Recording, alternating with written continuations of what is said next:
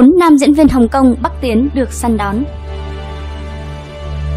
Thứ nhất, Lâm Phong Rời TVB sau thành công của bộ phim Sứ đồ hành giả, nên khi Lâm Phong chuyển sang Trung Quốc phát triển đã dễ dàng gặt hái thành công. Hiện nay mỗi tập phim của anh có mức thù lao là 630.000 đô la Hồng Kông. Năm nay anh nhận đóng bộ phim Đại Phát Hầu 45 tập của Trung Quốc, bỏ túi khoảng 28 triệu đô la Hồng Kông. Thứ hai, Lưu Khải Uy Cách đây 10 năm, Lưu Khải Uy bắt đầu chuyển hướng sang Trung Quốc phát triển. Năm 2011, nhờ bộ phim Thiên Sơn Mộ Tuyết, anh đã thành công vươn lên hàng ngũ tiểu sinh tuyến 1. Từ mức thù lao là 500.000 đô la Hồng Kông một tập, nay đã tăng lên 900.000 đô la Hồng Kông trên một tập phim.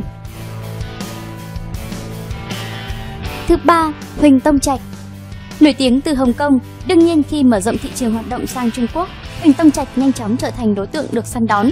Anh đã đảm nhận vai chính trong một số bộ phim truyền hình Trung Quốc như Nãy ba đương gia, Điều tuyệt vời nhất của chúng ta.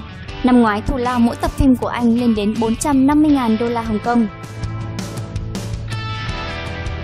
Thứ tư, Quan Trí Bân Mấy năm gần đây, Quan Trí Bân biệt vô âm tín ở Hồng Kông, thì ra anh âm thầm bắc tiến kiếm nhân dân tệ. Anh đã tạo được sự chú ý của khán giả từ vai diễn trong bộ phim Truy ngư truyền kỳ. Có thông tin, các xe của anh hiện nay thấp nhất là 280.000 đô la Hồng Kông trên một tập. Đóng 40 tập phim, anh đã nhẹ nhàng bỏ túi 10 triệu đô la Hồng Kông. Quả thật là hậu hĩnh.